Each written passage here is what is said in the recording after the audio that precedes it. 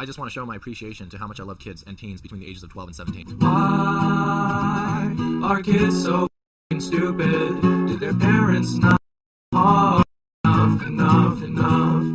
I try to empathize with teens, cause when I was younger, I was stupid too, too, too. It's true. But then I realized that I was never this stupid. My friends were never this stupid. Y'all are just dense, dense, dense. Like I'm really, really concerned. I wish your father would use that wooden stone, stone, stone. Just f- them already. I was just being ironic, man. Listen, kids, being edgy is okay. But the same ten jokes in a row, that's not okay, okay, okay. Like, damn.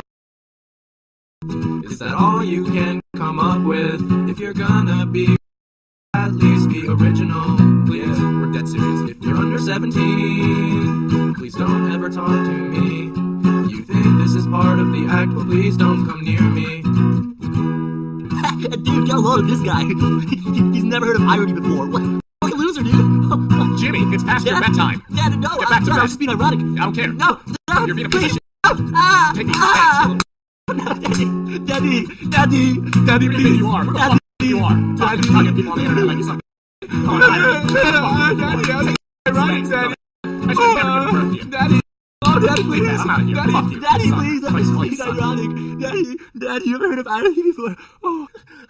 I, I was just kidding. That, that crying was ironic. I wasn't actually crying. Come back here. No- nothing, daddy. Nothing. Go back to bed. It's 9 p.m.